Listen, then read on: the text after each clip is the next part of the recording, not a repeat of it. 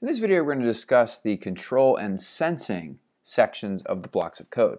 Now, the control and sensing blocks really allow you to add some uh, crucial features and complications to your program. So, for example, if we look at the control blocks, they are a lot of things that I'm going to call statements, like if statements or if else statements, repeat statements. So, if I wanted to say, flip back and forth between my costumes, so I have Iron Man jump, which looks like this, and I have let's say, me as Iron Man, which looks like this.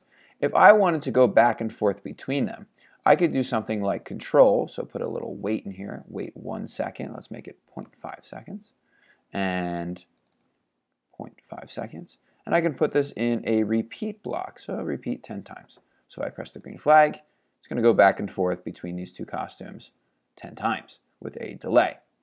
Now you may be wondering, why did I put a delay? Well, if I stop this and if I rewrite this program without the delay and put this in the repeat block, what happened was it did that, but you never told it how long. So the computer made that happen as quick as it could process it, and we can't see that. It happened way too quickly. So you always need, whenever you're doing some type of visual appearance, for you to notice the change, you should have some type of delay. So however quick or slow you'd like this to go. Now you can also use the control blocks to do if statements here. So I'm just going to keep my costumes, but I'm going to throw everything else out for now. So I could say something like, if something's happening, switch costume. So I could say, every time I press the green flag, I want it to be me as Iron Man. And then if something happens, switch to Iron Man jump. So if we go to our sensing block, this is when you can tell if something's happening. So you'll notice that there's touching the mouse pointer, touching colors, um, touching other characters if there are other characters, if keys are pressed, things like that. So let's use the touching color.